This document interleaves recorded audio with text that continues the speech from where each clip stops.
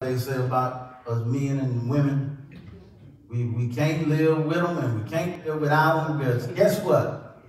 When it comes to a community, you can say, I can't live in it, but I can tell you, you can't live without it. A feeling, uh, we need a feeling of fellowship with others. When I talk about this word community, I'm not talking or referring to um, the tradition three that normally is taught about the community. Every year I teach my students about the three different communities that we have. You have the urban and suburban and rural. But I'm not talking about just geographical points today because the word community is rooted in the word common. Somebody, somebody say common. Common. A community is us sharing with other humans. Yes, we share space and we share places, but there are other types that I'm talking about when, it, when I'm referring to community. I'm talking about the shared interests, same passions. I'm talking about shared actions, the same attitudes toward bringing change and practice. I'm talking about the shared practice, and I'm talking that is a same profession or confession, and I'm talking about shared circumstances. Someone said this. They asked a question in 2003. They asked this question What is a good community? And someone answered with this reply, a good community is a cohesive, safe, confident, prosperous, and happy place. It is free of poverty and crime, providing a high quality of life for everyone that lives there. It values and promotes open, participative development processes underpinned by a continuous culture of transgenerational learning. When I thought about that response, guess what I realized? There is no community that we can live in that fits that definition of a good community. Really, in reality, there's only one thing in this world that fits if that definition is a glove, there's only one hand that can get into that glove. And that is Jesus Christ's hand that is built upon the body of believers. Talk to me something. If we're going to be here in a church, then this is the only place where we're poverty free and we're crime free and we're providing high quality of life for everyone that lives here who values and open. And we want you to participate in the developmental process whereby we can trans go across trans generation one generation to the next generation and teach generation after generation on how to live. So when i talk about this community concept on this morning, I want to throw you a Greek word very quickly here. And that Greek word is koinonia. Koinonia has various different meanings in scripture, whereby it's translated into communion, distribution, contribution, communicate, and it is basically simply stated fellowship. In First John, now to my scripture, First John chapter 1, verses 3 through 7, John talks about this concept of fellowship. He uses this Greek word koinonia. And John says this, if we say that we have fellowship with him and walk in darkness, we lie and do not the truth. Verse 7, but if we walk in light as he is in the light, we have fellowship with one another. Now, it seems to me that John would say that if we walk in the light as he walks in the light, then he would say that we have fellowship with him. Because the previous verse, he says that, that when we say that we're in the light and we don't walk with him and we're walking in darkness, then we can't have fellowship with him. But if we're in the light, then John says, and walking in the light, then John says that Christian brethren have fellowship with one another. The blood of Jesus, his son, cleanse us from all sin. Now that is pretty simple and plain, my brothers and sisters in Christ. But I want to tell you that verse 7 presents us a problem. Uh-huh. Because he says here, he's equating the fact of the matter, he's explaining what a hypocrite is. Y'all know what a hypocrite is, huh? Someone that's fraud. Someone who will lie to you. Someone who will crook you out of your stuff. And so he says, this is the definition of a hypocrite. A person who says, I am a Christian, but they walk in darkness. Watch this. We have a problem because he says again in verse 7, if you walk in the light as he is in the light, we have what? Fellowship with humanity. Now, he says, on the previous verse, he says this. He says, if you say walking in the light, but you're walking in darkness, you are a hypocrite. Again, goodwill, my Christian visitors, and those who are listening to me. I've been wanting to say that for a long time. Those who are listening to me on Facebook Live, I want to tell you that verse 7 presents us a problem. Because of that word fellowship. Watch this. The problem lies when Paul begins to talk about what we need to do. Because he says this. Remember, John says, if you say you're in the light, but you're walking in darkness, you're living a life that is contrary to what God would have you to live. That is what walking in darkness says. I claim and I confess, but I, I live a professional life in darkness. I say I'm in the light, but my life says I'm in darkness. Here is the problem that we have here. And let me try to explain it. In Colossians chapter 3, verse 12 and 13, Paul is writing to the church of Colossae, and Paul pens these words, Therefore, as God's chosen people, your confession is that I'm holy and I'm sanctified. As God's chosen people, holy, dearly beloved, clothe yourselves with compassion. Y'all can read it with me. Kindness, humility, gentleness, and what? In patience now, verse 13. Bear with each other in what? And forgive one another. Oh, my Lord. There's a problem. Did y'all see that? He says, bear with each other and do what? Forgive. And forgive.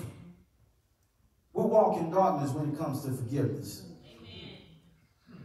Can, can I work this thing out this morning slowly? Because I don't want nobody to shout and bump your head on this ceiling this morning before you hear what God has to say. Watch this. So he says, forgive one another. If any of you has a grievance against who?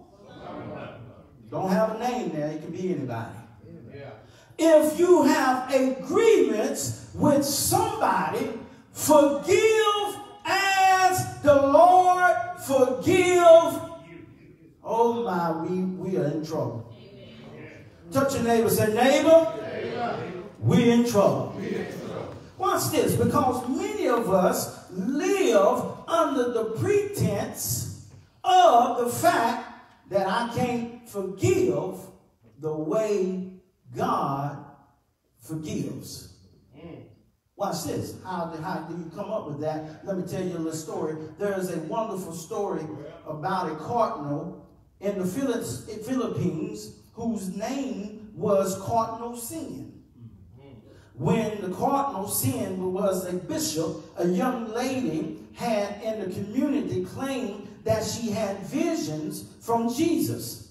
Bishop Sin was given the task of determining if the visions were real or authentic. And he called her into his office and he interviewed her. And after which he made a request of her. He said, Daughter, the next time you see Jesus, will you ask him what sins your bishop committed when he was a priest? She said, Yes, I'll tell you.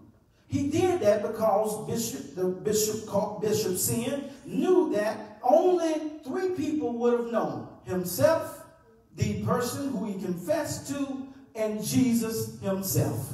And so some months pass, and this lady comes back and says that Jesus has shown himself to her again. And the bishop says to her, Good. I want one I got one question. Did you ask him about my sin? She said, Yes, sir. The cardinal says, What did he say? She said, He forgot. Did y'all catch that one? Uh-huh. See, we want we want God to forget our transgressions. We want God to forgive us and forget it but we live under the blanket statement, I can forgive, but I can't forget. All right. Oh, goodwill, we have a problem. Two, two. Can I say it again? Oh, Christian brothers, we have a problem. Yeah, yeah. Oh, Facebook viewership, we have ourselves a problem All right. when it comes to Koinonia fellowship. Yeah, Kevin. Because we have broken fellowship because we don't know how to forgive. As Paul said, what? you do it just like the Lord forgave you. Hmm.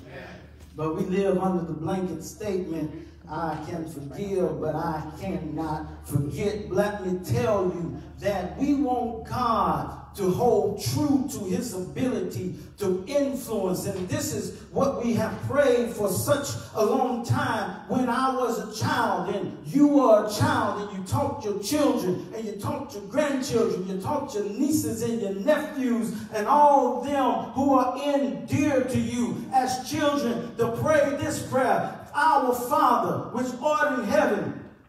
Uh-huh. And then we get to that part where we say, Forgive me of my transgressions as I forgive my transgressors. Some of you may have learned it. Forgive me of my debts as I forgive my debtors. Now, do you understand what that statement is saying? God, forgive me the way I forgive. But then I'll turn around and testify and say that I can forgive. Come on here, Pastor. I can't forget. How dare we stand and put ourselves in such a predicament, in a hypocritical condition, whereby we will quote Isaiah 43, verses 24 and 25, where God said, You have brought, bought me, you have bought me no sweet cane with your silver, nor have you satisfied me with the fat of your sacrifices, but you have burdened me with your sins. You have wearied me with your iniquities. And verse 25 is what we like to say. He says, I, yes, I am he who blot out your transgressions for my own sake and remember your sins no more. Yeah. We quote that about ourselves and our relationship with God, and we want God to forget it, but we won't forget. God is so rich about his understanding and so sincere about this condition of forgetting when it comes to forgiveness that he had the Hebrew writer, we quote it again in Hebrews 8 verse 12, he says, For I will forgive their wickedness and will remember their sins no more. Yeah. But can I give you a confession right here? When we say, Lord, forgive me of my debts as I forgive my debtors, remember that the Lord's Prayer is a model. It is an expectation. It is what Jesus is saying. This is how you should pray. You shouldn't pray like the, like the hypocritical Pharisee or Sadducee who stands in public and he cries out loud and boastfully and pridefully. This is not how you should do it. He is teaching the disciple in the book of Luke on how to pray. Therefore, the words that we are quoting here is a model of how we should do it. Uh-huh. It's, it's God's standard. In other words, it is what Paul said, that we are to forgive as God forgave. Listen, so it is a standard that we are to reach, and God has an expectation that we are to reach his standard. And what is his standard? His standard is holiness.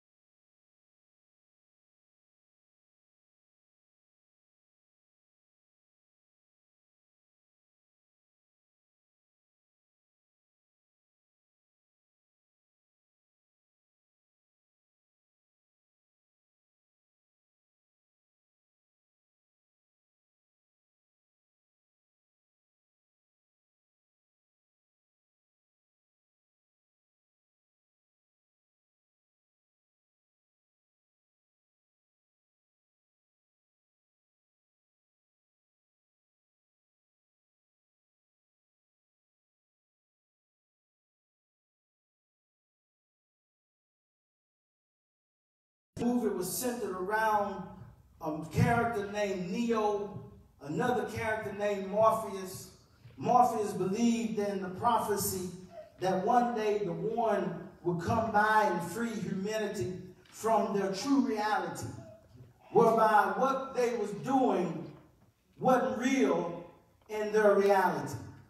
They was being controlled by this computer program, and all the humans that was working and going to work was not really seeing what was real because the real reality was that they was living in some little time, this little capture, and they was plugged into a machine that was draining their life out of them. And this is what he offered Neo on that night. He said, if you take the blue pill, then you will wake up in your bed in the morning and you will believe whatever you want to believe. But if you take the red pill, you will stay in Wonderland. And I'll show you how deep the rabbit hole goes. It, it's your decision. It's your decision. It's, it's, it's, it's what you want to know. But I, I come to offer you a true reality of this statement I can forgive, but I can't forget. Do you want the red one? Or do you want the blue one? If you want the blue one, you can go home right now. Mm-hmm. But if you want the red one, stay just a little bit longer. Amen. So, so watch this. So, when we talk about koinonia and and and fellowshipping and having a pure communion and distribution and contribution whereby we are communicating and walking together. You must understand that we come short when we fall under this statement, but it's time for us to come out of the matrix because Paul says this when he says to the Colossians, he says, take off. Did y'all catch that? He says, take off. He's, he's putting in our mind the thought of taking off clothes. And let me break it down to you like this. During that day when they was becoming Christians, they would walk down to the river when they would confess that they was believing. And the man who was walking down to the river, he before he gets into the river, he would take off his old clothes And he would get in the water with just his undergarments on. He would be baptized and he would be raised up. And when he comes out of the river, he walks by the old clothes, and someone would be there to hand him a new white robe. He will put on that new white robe and go into his house and through the community, and everybody in town will know that he was changed. Amen. But the reality of this that he had in those old clothes, he was leaving them down at the river to never have his past hunt him. But how oftentimes we as Christians who are making this proclamation that I can forgive but I can't forget, that means that you have the same old past experiences hunting you right now. Hmm. Can I tell you that it's time again to get out of the matrix? Watch this. So, watch this. So, we have to, summary point number two, we have to disassociate ourselves from our what? Past. Past pains. Amen. Not just our past, because I have some good experiences in my past that I wish I could revisit every now and then. Like when I first met my wife, I wish I could go back. Amen. Oh, y'all not hearing me up in here. You know, I, I wish I could go back to those to that moment when I first laid my eyes on that at the junior high at that youth conference. Y'all know what I'm talking about. Where you have some experiences in your past that you wish that you can get back and have that experience, but then you have some experiences in your past that you wish you had never went through and you don't care to go back to them. Those are the experiences, the pains that hurt us right now. Wow. Watch this. So as I look at this and I begin to think about what I'm talking, what Paul is talking about in Colossians chapter 3, verse 8, Paul writes this before he says, put on forgiveness. Watch this. Because Paul understood that before you can get baptized, he was painting that picture. You got to take off some stuff. Right? You, you, you don't you didn't wake up um, this morning and put clothes on top of pants. Well, You didn't put pants and a shirt on top of a shirt and a tie up on top of a tie and two and three, four socks like these young folk are doing where they wearing four or five gym shorts underneath their pants. I don't know why I was parents allowing that stuff to happen. Watch this. So he says, you got to take off some stuff. Watch what he says. He says, but now he also put off all these. What are? Anger, wrath, malice, blasphemy, filthy communication out of your mouth. Listen, he was so sincere about this, for he wrote in Ephesians chapter 4, verse 31 and 32, he says, Let all bitterness, wrath, anger, clamor, and evil speaking be put away from you with all malice. But be ye kind towards one another, tenderhearted, again, forgiving one another, as God, for Christ's sake, has forgiven you. Listen, you can be in the right spot, the right spot in your life, the right conditions in your life, the right people in your life, but because you didn't take off nothing, wow. Amen. you have broken fellowship. Yeah. You you got you got you got you got all the right stuff. You got all the right conditions around you. But because you got on the wrong clothes, you can't enjoy the moment. Let me try to do it like this so y'all can understand this. Since I used my wife as an example, I'll use it again. There are moments whereby we go out in the town and, and, and we're going out and I, I'm the type where it don't really matter to me, Sister Lottie.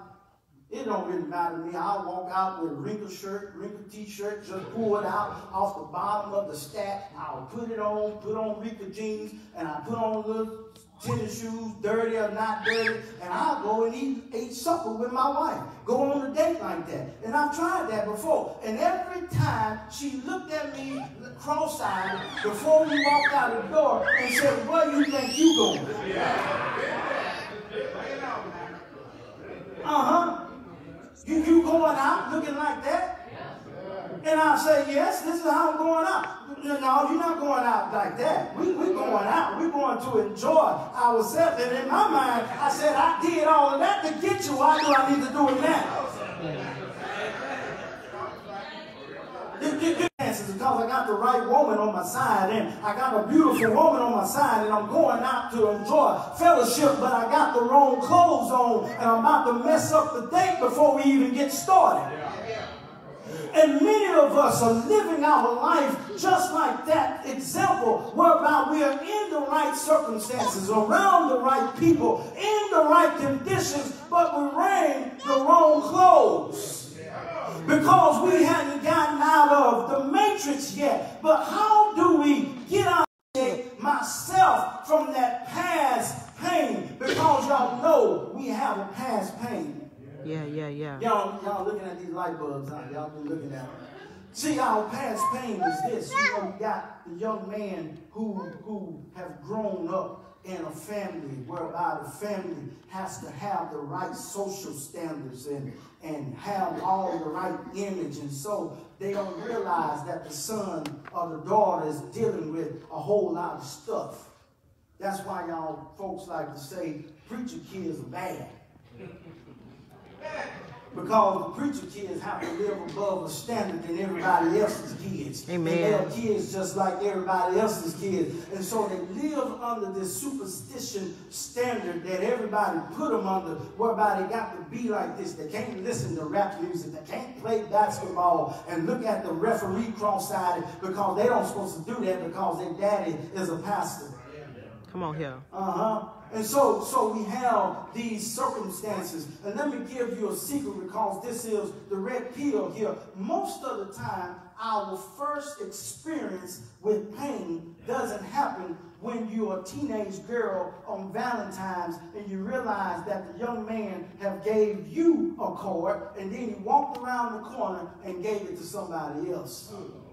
That's not your first experience, my brothers, when you realize that that girl is treating you just like you're treating her. You think you're a player, she a player, and better at it than you. See, that's not your first experience. Your first experience of pain didn't happen when you got a divorce. Your first experience of pain uh, did not happen when you became a single mom. You and you realized and labeled that that man wasn't going to be there for you and be there for your child. That wasn't your first experience with pain. It didn't happen when you got old as a teenager and in your 20s and 30s. It didn't happen like that because in reality, our pain starts in the very household where you were born in. All right. Because we spend most of our time in the household. We spend 18 years in the household. And that first pain that you experienced came from the woman who gave birth to you when she said, Don't you do that again, I'll snap the blood. Y'all know how they get to talking.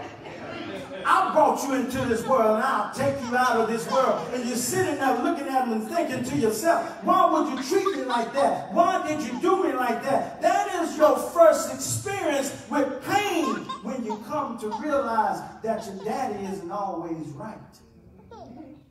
Your mama isn't that perfect. And so you sit there and you got to suck it up and draw in your lips and bite your tongue, even though you want to tell them how wrong they are. But you know better than that because you can't say that to your caregiver. And so you sit there, and guess what? You've been cracked. I'm trying to keep this. And now you're older. And I'm older. And I get around a friend who treat me the way mom and dad treat me. I get a man or a woman who treated me the way mama or an uncle treated me. They don't really care about me. And so that crack now becomes broken. Guess what? Every time you have gotten stepped on, you we were stepped on by Satan. Because one thing about Satan, he told the truth one time. In the book of Job, God said, Where are you going? He said, I'm going to and fro, seeking who I may devour. God, I can't lie about it. I'm just going to tell you the truth this one time. And so he walked down and he saw you at that high school. He saw you at that park and he stepped on you. Where you was cracked before by your parents, now you're broken by your husband and wife. And then he comes over and he finds someone else. And somebody may be saying that mom and daddy cracked me and broke me. And he didn't leave you right there laying there on the ground. He picked you up, opened the trash can,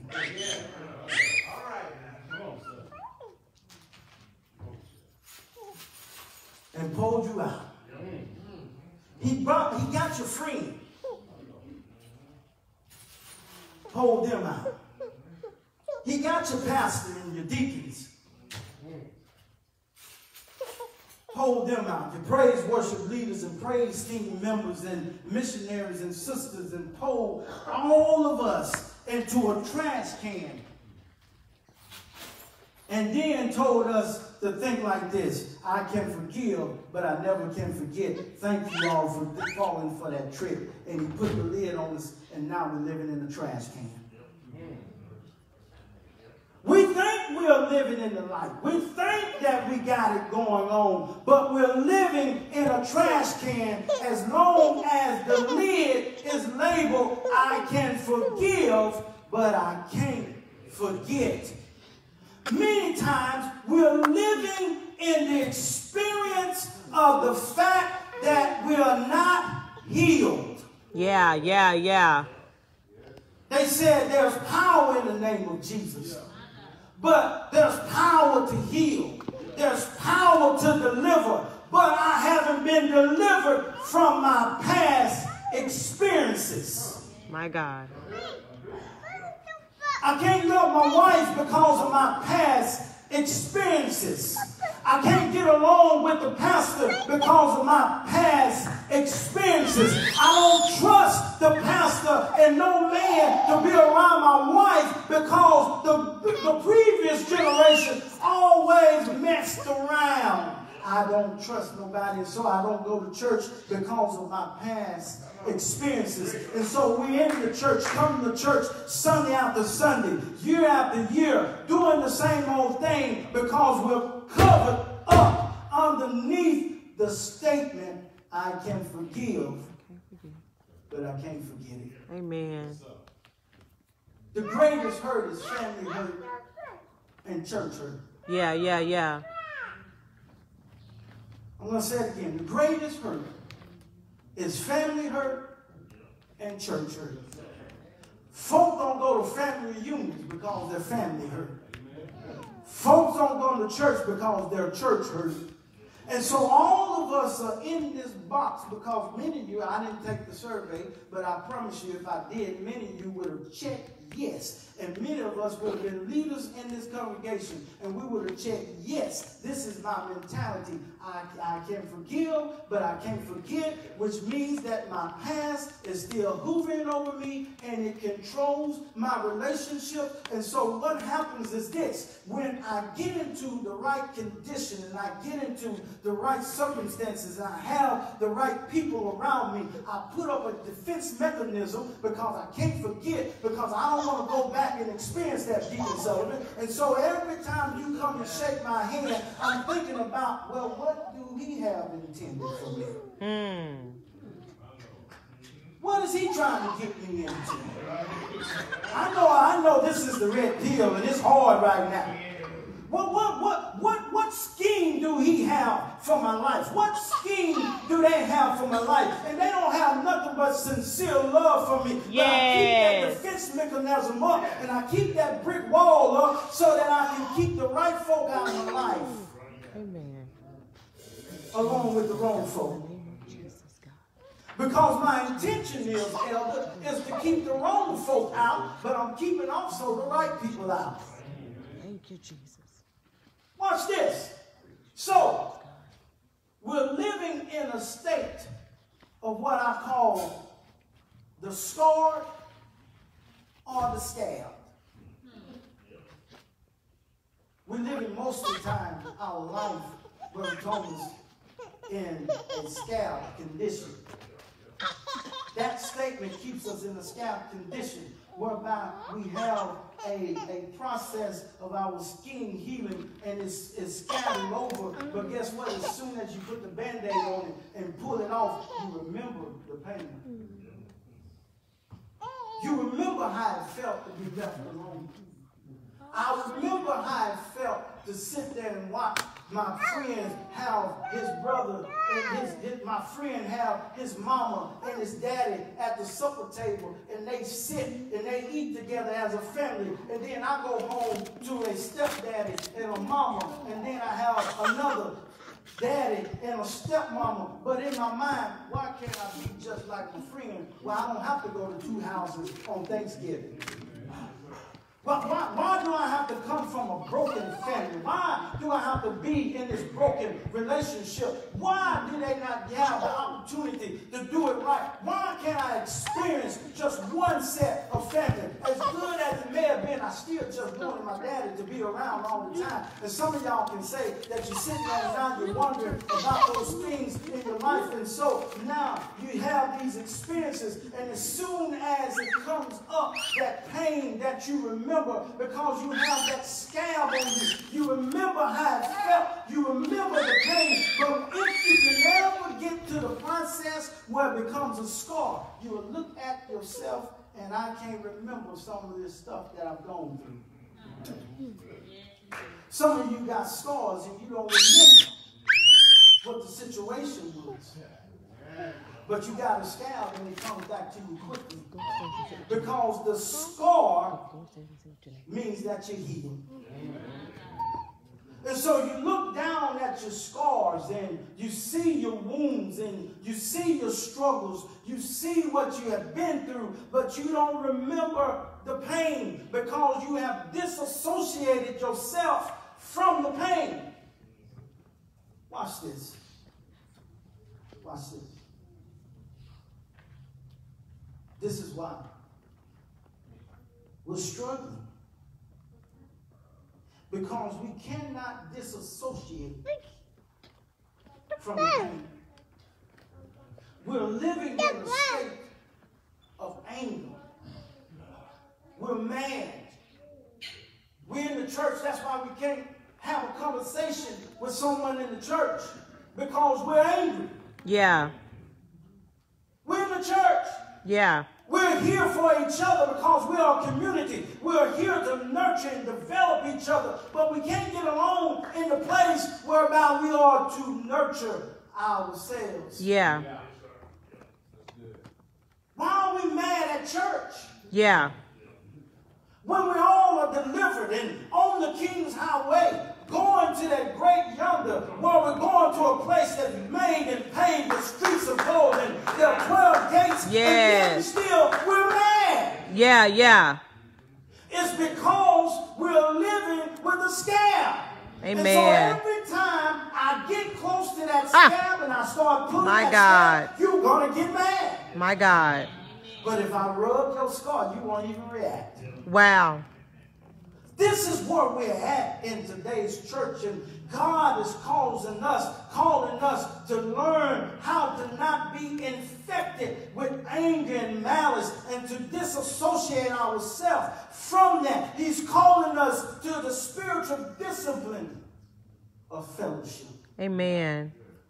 Sermon point number three. Amen. How do I disassociate myself? I do it, first of all, I have to learn how to pull off that stuff. Amen. I gotta let it go. Amen. And then I have to cover myself in love. Amen. Not just any type of love. Not philo love. Not Eros love. Agape love. Amen. Whereby I'm loving Unconditional. unconditionally. Yes. Philo love, brotherly love, means that we have to have some common stuff. The companionship love means that I've fallen in love with you and I want to take you out on a date. Agape love says, I just love you because I love. Amen. Doesn't matter what you do to me. Don't matter what you do for me. I love you. Watch this. So, so, so, in Colossians chapter 3, verse 2, it says this Set your mind on the things that are above, not on the things that are upon the earth. Verse 3 For ye died, and your life is hidden with Christ in God. Christ have loved us, and we got to hide ourselves in that love. Amen. We have to cover ourselves in that love. Look, look at verse 5 and 7. It says, Put on, put to death, therefore, your members which are upon the earth. Fornication, uncleanness, passion, evil desire, covetousness, which is idolatry.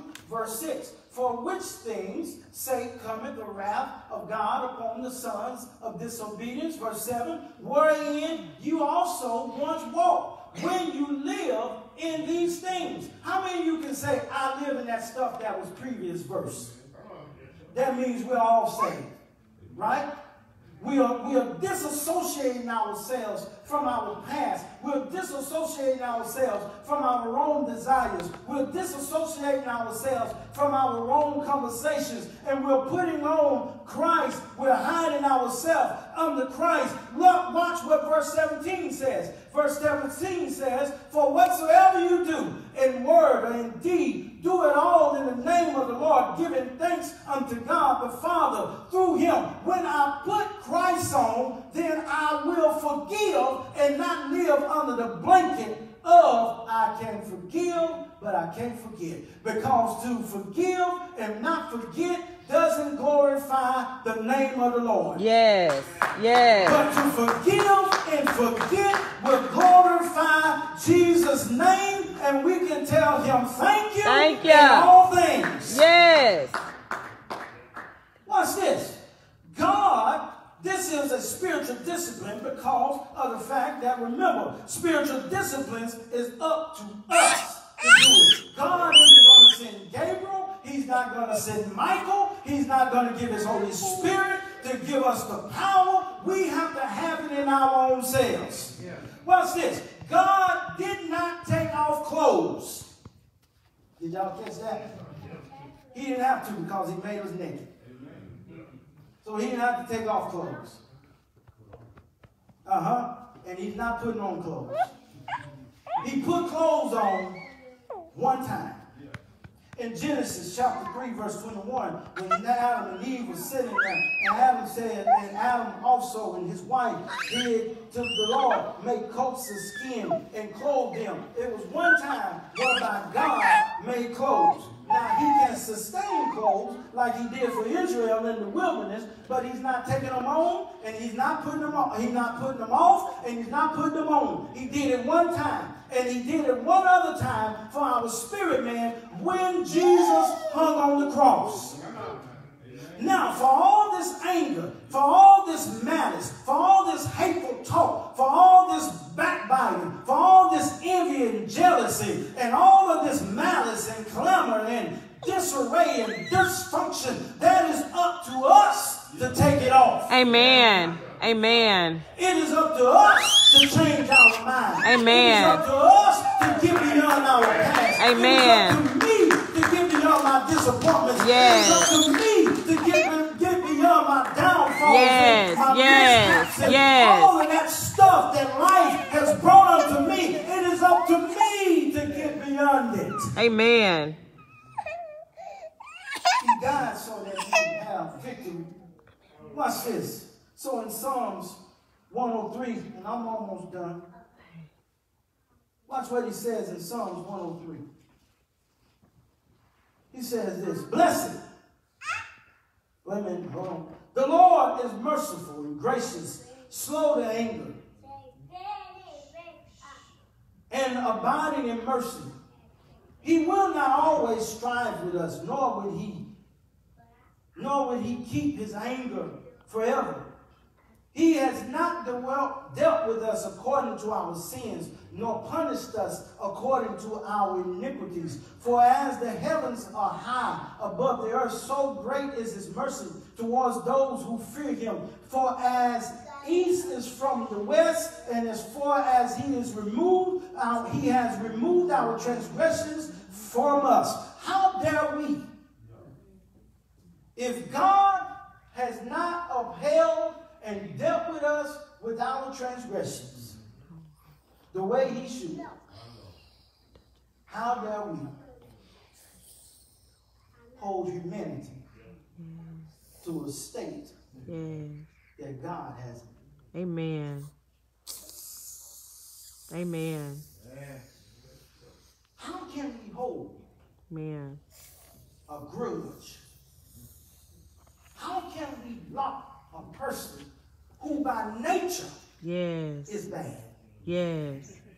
It's not like we're, we're o- o- oblivious to the fact that we all got a bad nature in us. If God didn't hold us to our bad nature, if God would look out across heaven to find a redeemer to bring us Yes, back, and not yes. hold us to that and provide Yes. us grace, unmerited Yeah, favor, Lord. if God would do it for us, what give us the right? Yeah, yeah. to stand on the mountain and declare you're wrong and you're going to stay there until you prove My to God. But yet and still we know they will never prove. And then we hold everybody else that we come in contact Yeah. with the same standard because that's what we expect. Yeah. Watch this last one. So here's what Jesus says as he's finishing the sermon on the mount in Matthew chapter 5. Jesus declares these words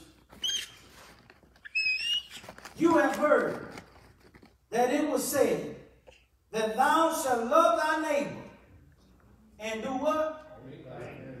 Uh huh. But I say unto you, love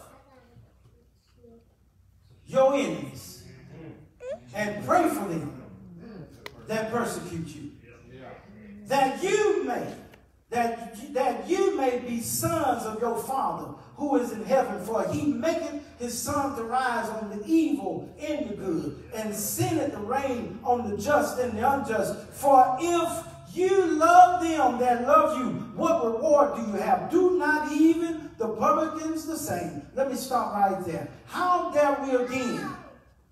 We can't cause nothing to rain we can go out and dance with, with the Alabama Coushatta tribe down in East Texas and think that it's going to rain, and we're going to hope that it's going to rain, and we can do the rain dance all night long, and it's still not rain. But God can make it rain on the just and the unjust, and then He'll turn around and forgive us. And how dare we look at folk down our unrighteous nose? Come on here.